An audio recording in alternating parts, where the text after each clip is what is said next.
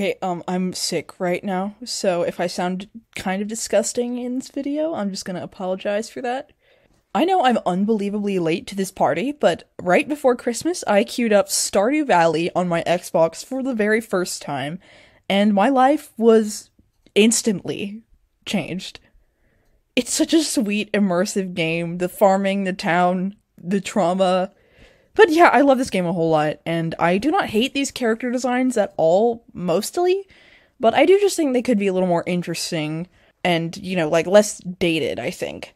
Most of them have designs that are majorly two or three important colors made up of their hair and their top.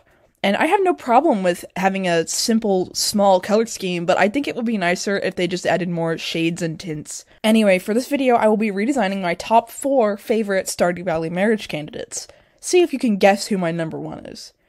Uh, starting with number four, we've got Harvey. I love this man. He is a sweetie pie. He's such a silly little goober. He has a sad little story about giving up his childhood dreams, and he killed a man. I just really like him. I know compared to some of the other storylines, he might seem a little bit bare bones, but I just love him. He's really easy to make friends with too because he loves coffee, and like all you have to do is buy one from the saloon, or if you have a keg and coffee beans, you can literally make it yourself. I uh, thought his 10 heart event was really sweet. I like the hot air balloon. And he's just, you know, he's just a silly little guy. I just like softer characters a lot. Most of these characters have really harsh and upsetting inner conflicts, and Harvey obviously has conflicts of his own, but he's just very relaxing to talk to compared to a lot of the other characters. Also, I just think it's funny that once you have eight hearts with him, he's just like head over heels in love with you. I love stringing them on, it gives me a sick sort of high. For this design, I didn't really change anything about him, actually. I think I just like toned down his colors a bit. Like one thing about ConcernedApe's art style in the original game is the very, very saturated colors. So I think that will actually be the biggest difference in all of these designs that I do. Uh, I did make his hair curlier, and I also gave him crow's feet because I just, I love the way they look. Like, if I see someone with crow's feet, I have a higher emotional attraction to that person instantly. Like, I just think they're adorable, and even though they can come from a lot of things, my first thought is always that person smiles a lot. And, like, I don't know, I just think they're cute. Also, I gave him a little sweater vest and a coffee mug, but uh, that's about it. Here he is. I love him. Number three, Abigail. She has purple hair and she eats rocks. What's not to love? I feel like her story kind of ends on a note that implies she has a lot more ahead of her, which I wish we got to see, but she also killed a man. I love when people kill a man. She's super fun and her dialogue is really silly, and she just has that air about her that she's a bit of a kook. I just I love that she wants to be an adventurer, and you know, since she's lived in Pelican Town her whole life, it makes sense that she'd just be seeking something more. She's just a silly little girly who wants to kill things and play video games. I love her. Oh, also she plays drums, and so do I, so I've got bias here. For her design, I wanted to make her, like, more buff, I guess. I know she probably doesn't actually practice a lot, because, like, her dad's insane. But I just, yeah, I just wanted to make her buff, so yeah. I did change up her outfit a bit, but she still kind of looks the same, or similar, I guess. I kept her little Jess I gave her some fishnets under her shorts because she's alternative, and I made her shoes like adventure fantasy boots because I just personally think the fact that they look so out of place with the rest of her outfit makes it look more Abigail. I took away her hair bow because I just thought it didn't suit her, but I did put that pop of light green in other places. I gave her a little necklace and some piercings, and I painted her nails, and I gave her purple makeup because she's goth. I also decided to make her hair shorter and, like, I guess just rougher around the edges. I made her roots showing as well. Also, you know the line where Caroline's like, she'd be prettier with her natural hair, right? And Caroline literally has green hair. Like, girl, what? I could say a lot of things right now, actually, about Caroline and the wizard, and a possible curse from the witch to disprove my green hair thing, but I'm just not going to get into that. Here's Abby, I think she looks adorable. Number two, Sam. Okay, so Sam is actually my top character regarding marriage. Like, if I was to get married in this game, I would probably choose Sam because you get this sweet little acoustic song in his 14 heart cutscene if you do. And also, he's just such a goober. I genuinely enjoy, like, his dialogue. Just character-wise, though, if we're being friends with everyone, he's not my top top, though. I do love this man to death. He is so fun and silly. And also, I just, I don't know, I have a soft spot for musician characters, so I just liked his storyline immediately. He's just such a sweet character. Like, I just, I like that he really cares about his family and his dreams, and he has, like, really admirable optimism.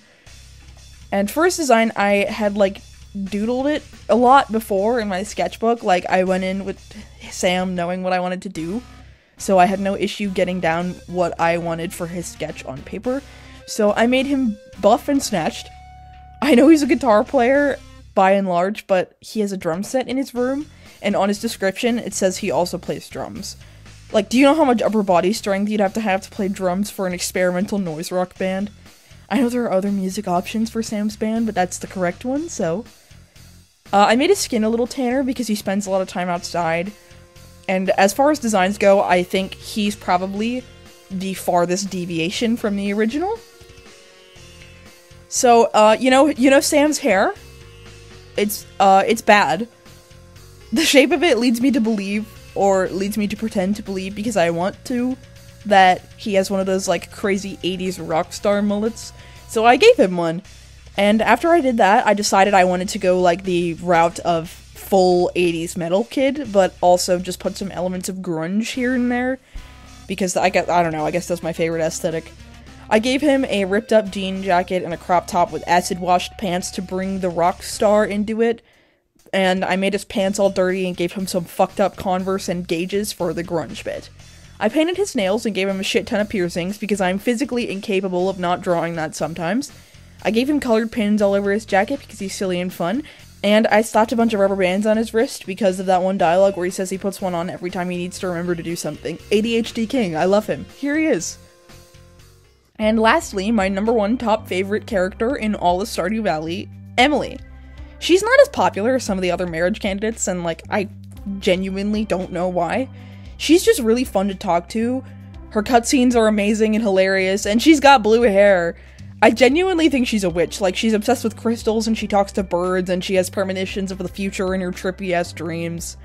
She doesn't have, like, a turmoil based storyline like some of the other marriage candidates so there isn't a whole lot of depth, I guess. But I personally don't think that's a problem. She's just like fun to be around. Her six heart cutscene is my favorite thing in the entire game. I love her silly little dance. She's so cute and fun and honestly just like a lot kinder than a lot of the other people in Pelican Town. A lot of them are really condescending when you first meet them, and like, don't get me wrong, getting to know them is 100% worth it. I just like that she has a sort of nice ditzy disposition but she definitely knows everything about you right away. Look into those terrifying eyes. Anyway, for her design, I decided to make it more of like a witch hippie grunge style. She makes her own clothes, so I figured they'd just be a little bit more fun and individual than what she originally wears.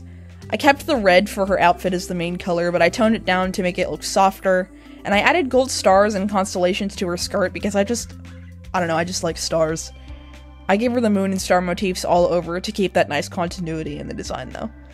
I also made her boots blue, but specifically modeled after this pair of blue suede shoes that I have owned since I was 12.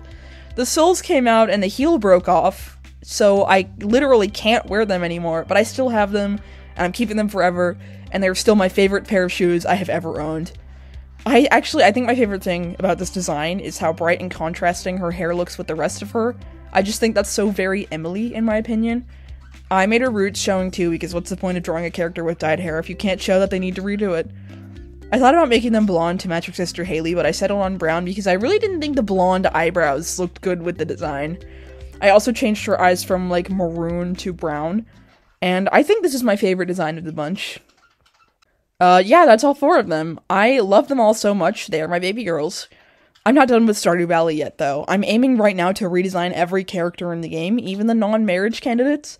That might be a bit overzealous, but I think I can do it, because, like, I'm pretty sure there's, like, 40 characters in the game.